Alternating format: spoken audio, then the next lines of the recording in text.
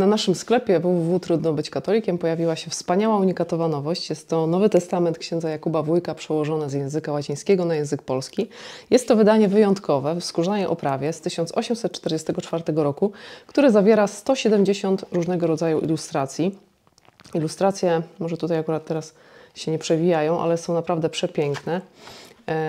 I co jest wyjątkowego jeszcze w tym wydaniu? Jest ona niedotknięta cenzurą. Ta Biblia jeszcze nie była mm, poddana żadnym modyfikacjom ani korekcie, więc na przykład e, temat Żydów, pogan, zwłaszcza Żydów, jest potraktowany tutaj po imieniu, czyli wszystko, co powinno być wypowiedziane, jest wypowiedziane w sposób bardzo mocny, realistyczny, autentyczny, prawdziwy, zgodnie po prostu z prawdą, z nauczeniem Kościoła. Także bardzo serdecznie zachęcam www. Trudno być katolikiem.